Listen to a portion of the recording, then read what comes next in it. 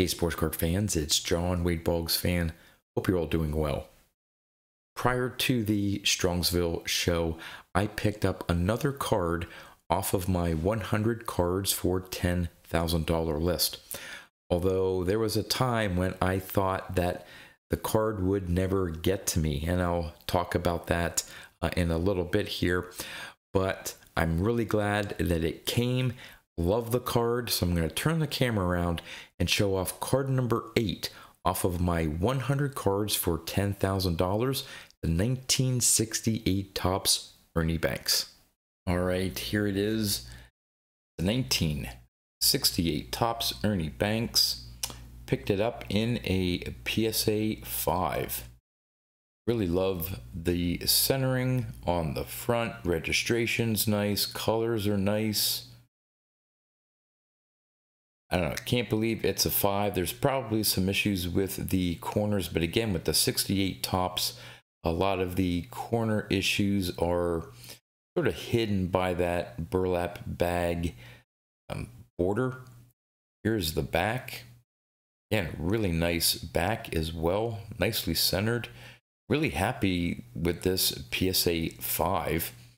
Uh, before I get into the numbers behind it, as I normally do on these sort of uh, countdown uh, or pickup videos off my 100 cards for $10,000 list, I want to tell the, the background story of this card. This was a, an eBay auction, and if you're if you do a lot of buying on eBay, you know that uh, in some cases when you pay for a card, um, it may be after uh, the post office has closed, but uh, the seller can generate a tracking number and mark it as shipped.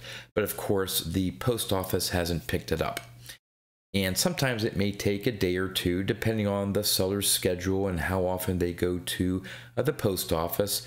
Uh, would it get picked up and then starting the normal tracking process and you can follow the card?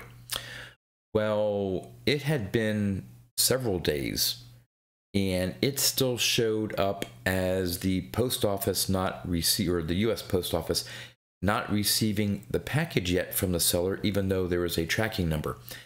Uh, now, this has happened a couple times for me when I've purchased some Boggs cards. Uh, they'll send it in a plain white envelope. It'll technically have a tracking number, but it really doesn't go through uh, the tracking process through the post office. And sometimes I've received the card, and technically it still shows up as the post office not even picking up the item. But I knew this one here was not going to be sent in a plain white envelope. So I kept waiting and I kept waiting, and it was about a week where I hadn't noticed any movement on the shipment of this card. And so I went to send the seller a message. And that's when I realized that the seller had less than 200 feedback. It was all positive, but less than 200 feedback. And the and within the last 12 months, he only had two positive feedbacks at all. That was it. Two in the last 12 months. And he didn't have any other items for sale. And I'm thinking, oh my gosh, I'm not going to get this card.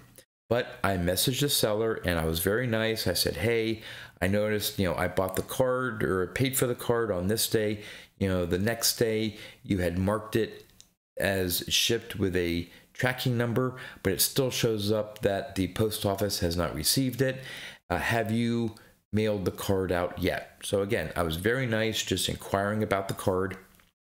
And he replied that uh, his wife gave birth to their child early. Uh, so I guess his wife was pregnant and had the baby a little bit more or earlier than they had originally anticipated. So of course his time was spent uh, with his wife and their new child. So I congratulated him. I, I said, I hope the mom and baby are doing well. He got back to me, said, yes, they are. And he dropped off the card at the post office like the next day. And it was within three days that I got the card. So I'm happy for the seller uh, with a, a, new child. Happy that I got the card. I was originally worried that I may have to reach out to eBay and possibly end up getting my money back and not the card. But thankfully, everything went well. So let's get into the numbers here for this card. Now, when I put this card on my 100 card list, I had it at a PSA 7, and I thought I would need to spend around $100 for a PSA 7. Well, obviously, I got a PSA 5. Now, this was, as I said, an auction, and with the winning bid plus shipping and tax, I was in it for only $45. So I saved from what I thought, you know, with the card and the grade that I had on the list, um, I saved over half. I saved $55 by dropping down to a 5. And as for the price I paid for a 5, again, all in price, uh, the current range for a PSA 5 on the low end is $30. Uh, the average is $44, and on the high end, it's 55 But these numbers, those numbers come from uh, VCP. Now, in VCP's database, they only look at the uh, you know, buy it now price or the winning auction price. They don't factor in what shipping and tax is.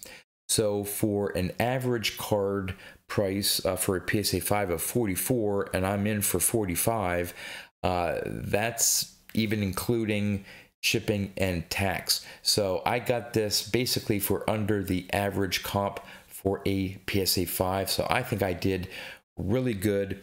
Now, since this is the eighth card off of my list that I've picked up, for those eight cards, I had anticipated spending based on the grade I had it on the list. I thought I would have to spend $700. Well, for the total of eight cards that I've picked up so far, I've only spent $395. So I am $305 to the good of what I would I thought I would have to spend for those eight cards.